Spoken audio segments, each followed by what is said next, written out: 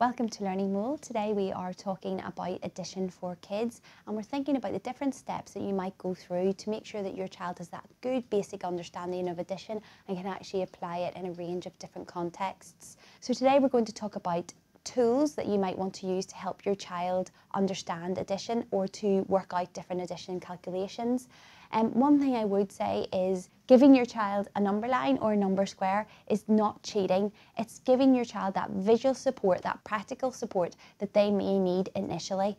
The aim is that you will use these tools initially and then you will be able to move away from them. So please don't feel that by giving your child a tool that it's cheating in any way or that um, they're not learning because they are. So the first tool I'm going to talk about are those very simple number lines. If your child is at school, they possibly will be using them in school. Now, I am a big fan of using a blank number line for the sole reason you're not limited to what numbers are on there. But you can limit, you can do your own numbers if you want or get a commercially printed one. I love the blank number line because you don't actually need to print anything off. You can just simply draw it, put whatever numbers you want on there, whatever scale you want on there. It can be blank, it can be numbers 1 to 10, it can be numbers 1 to 20. It could be numbers 20 to 50. It's whatever you want it to be, which is, it makes it so versatile. So for example, I've drawn my number line and I'm deciding that I'm only going to add within 10. So I'm going to put my numbers 1 to 10 on there.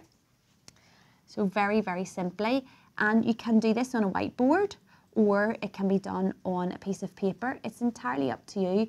Um, if you look at some other videos I've got as well, there's some really nice ways of making interactive number lines with Cheerios or beads and a pipe cleaner and your children can actually make their own number line and actually use that um, to do their calculations and they can decorate it however they want. So I've got my number line with my numbers on there and then you're actually going to show your child how to use it. So for example, if I want to add 4 plus 2, this is the process that you'll talk through with your child of how to use a number line. So first of all, we talk about the idea of putting the biggest number first. Of course, in addition, it doesn't matter what way the numbers go around, but by putting the biggest number first, it makes the calculation just that little bit easier and there's less numbers to work with. So it means that your child actually has less likely chance of making a, mistake or an error. So we're saying the biggest number is already first, so that's good and we're going to start at number four. So you're going to locate four on your number line. Now, again, if you want to actually have this on a desk or in front of your child, you can give them a little figure to jump around with. You can give them a cube, you can use stickers. As I say, you can do it on a whiteboard so they can draw and rub off. Do whatever you feel your child will enjoy. Do whatever you feel your child will understand and what will help your child. I know my two boys love the little figures um, and they actually use the little figures to jump on their number line and it's lots of fun and they always choose Lego ones.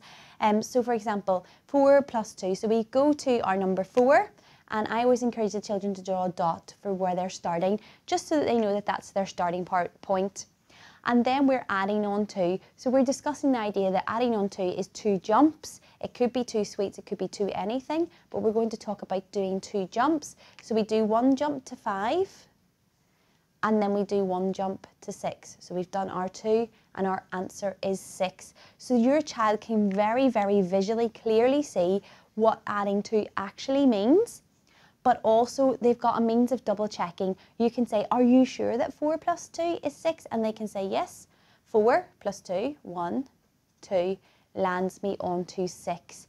So it's a really just a really nice tool that's very visual and can be used in so many different ways that your child will hopefully enjoy and be able to understand um, and have that practical element. Now another version really of a number line are number squares. Now you can use a 100 square, which is um, numbered 1 to 10 and obviously downwards.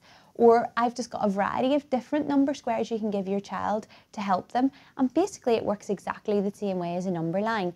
They will identify the number they want to start on. So I'm going to start on 4 and I'm going to do two jumps. One, two, and I'm on to 6. It could even be that you start on 4 and you colour into to show where you land and I'm landing on six.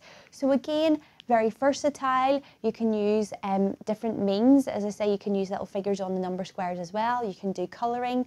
It's entirely up to you and what your child enjoys.